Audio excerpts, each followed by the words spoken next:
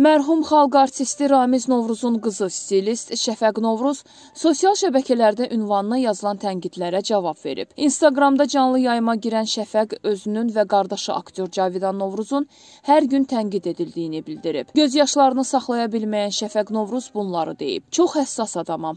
Bəzi müğənnilər və onların balası kimi sırtıq deyiləm. Abrım həyam yerində olub. Şərhlər üzündən özümü nə qədər yaxşı etməyə çalışsam da məni yıxırlar. Həmin an qılınclamağa başlayırsınız. Atamı məndən çox sevməyəcəksiniz. Atamı gözüm görə-görə qəbrə qoydular.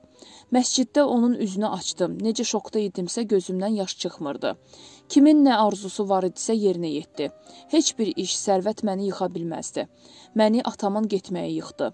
1-0 uduzdum. Cavidanı verilişə çağırdılar ki, atası haqqda danışsın.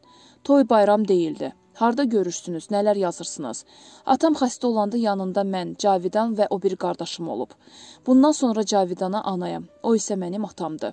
Yazdıqlarınızı götürə bilmirəm. İşimi məcbur edirəm. Qızım Ayan da mən də o qədər bədbəxt adamıq ki, bir küncə çəkilib acımızı yaşaya bilmirik. Allah bizi elə bədbəxt yaradıb ki, məcburuq işləməyə. Gəlinlər yazmışıq. İşləməsək işimiz qalır. Kirayəmizin qiyməti 10 min manatdan çoxdur. İşləməsək heç kim o pulu verməyəcək.